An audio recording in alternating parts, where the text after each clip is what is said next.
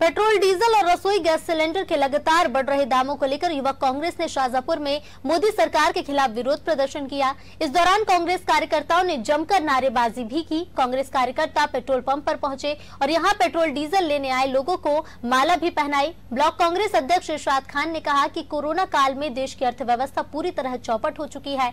बेरोजगारी चरम सीमा पर है। इसके बावजूद भी मोदी सरकार लगातार पेट्रोल, डीजल के दामों में बढ़ोतरी कर लोगों पर आर्थिक बोझ बढ़ा रही है। के के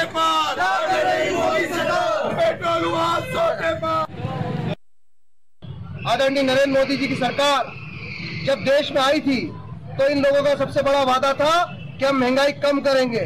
आज पेट्रोल, डीजल के भाव में जो बेतहाशा वृद्धि हो रही है और जो लोग कल 25 पैसे 50 पैसे बढ़ने पर साइकिल और बैलगाड़ी पर आ जाते थे, शिवराज सिंह चौहान जैसे लोग आज उन्होंने सबने अपने मुँह पे ये पिस्ता ली है, जो स्मृति ईरानी खाली टंकी गैस की टंकी ले जाकर विरोध की कोशिश करती थी, जनता में दिखावा करने की कोशिश करती थी। जनता पर जब ये मार पड़ रही है, गरीब पर जब मार पड़ रही है तो चुपचाप सो रही है। हम इसकी कड़ी निंदा करते हैं।